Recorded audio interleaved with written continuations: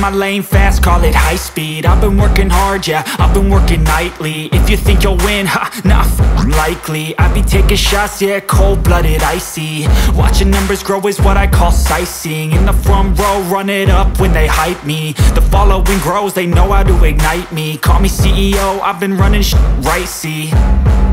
And I ain't playing games, I create my own lane Making pleasure out of pain, uh Turning losses into gains. I'm the boss, I'm making change. I've been rocking this exchange, uh.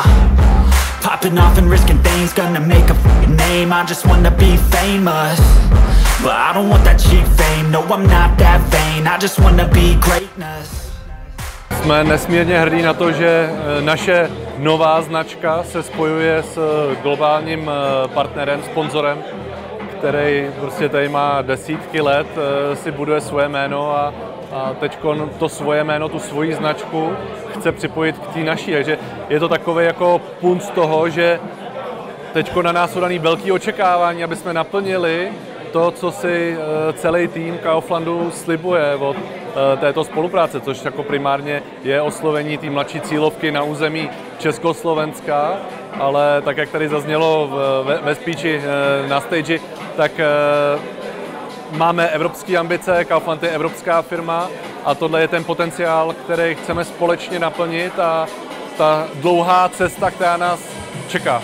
My um, vnímáme Sinners jako rostoucí značku, novou, progresivní. O té spolupráce si představujeme propojení našich brandů, No a um, těšte se na nové uh, zážitky mezi Kauflandem a uh, esportovým týmem Sinners.